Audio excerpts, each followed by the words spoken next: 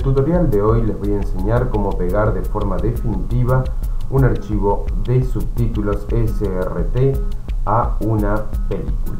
Les enseñaré varias formas de hacerlo y a varios formatos a convertir. Lo que debemos de tener es nuestra película, nuestro archivo SRT con ambos con el mismo nombre, diferente terminación.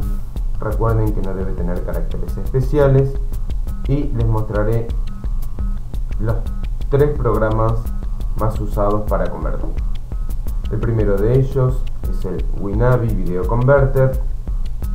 Lo que debemos de hacer es agregar archivos. Seleccionamos el archivo convertir, el de video, abrir,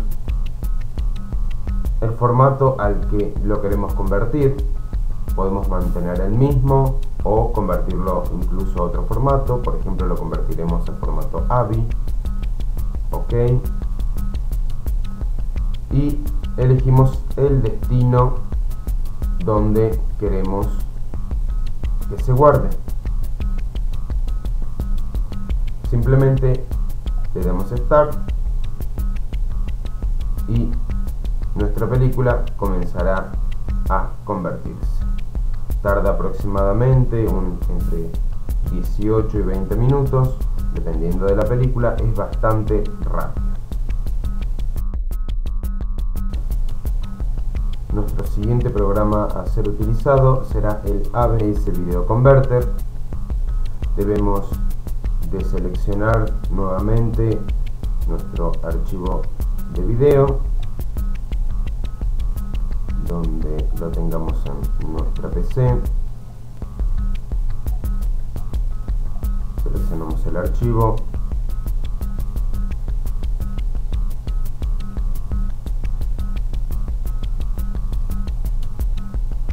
Nos fijamos en opciones avanzadas. El subtítulo en la parte inferior dice ninguno. Le ponemos hacemos clic y ponemos el que dice pista para que se seleccione. Y le damos convertir.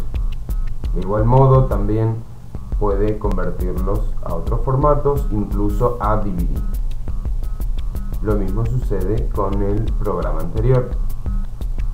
Da convertir. Y el programa comenzará a actuar. Este es un poco más lento, tiene un poco más de fidelidad, pero es un poco más lento que el programa anterior.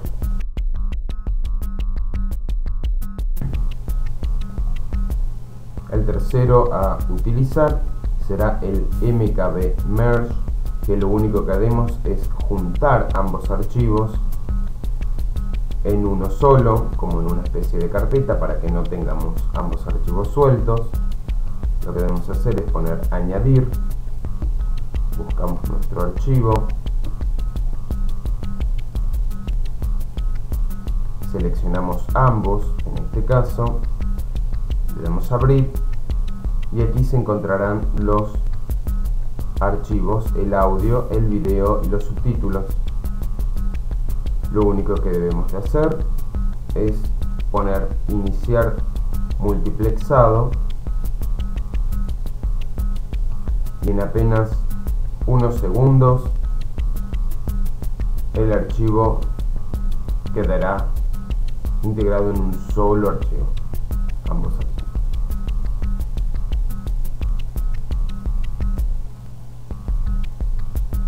Le damos listo cerramos el programa y podemos ver que ya aquí tenemos un archivo que se llama del mismo modo y este tiene integrado los subtítulos.